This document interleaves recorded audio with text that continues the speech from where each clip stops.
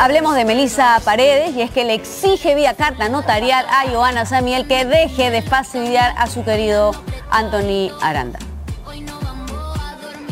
Melissa Paredes celebró el retorno de su amado Anthony Aranda a Esto es Guerra y le pidió a Joana San Miguel que no lo ataque.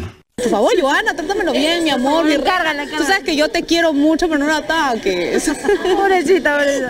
Atacado el bebé. Al escuchar las declaraciones de Melissa, Joana San Miguel respondió fuerte y claro. Explicó el contexto en el que hizo estas declaraciones. Melissa te ha dicho que no lo ataques tanto el Anthony Aranda. Dice que por favor, pobrecito. Melissa ¿Ha, ha dicho eso? No, no, no, no. A ver, yo te voy a explicar, ¿ya? Lo que pasó. Y tú también, Anthony, por favor.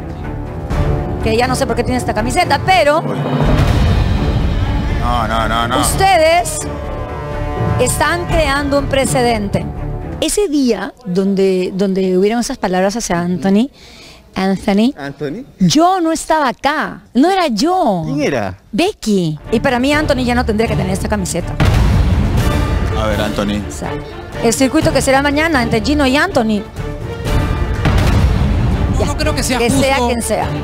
Becky, es tu hermana gemela, creo. Exacto, mi hermana gemela que vive en Utah. Ese día yo justo le había pedido permiso a, a producción para no estar aquí presente. Entonces este Becky vino y me suplantó. Entonces por eso dijo todas esas cosas horribles.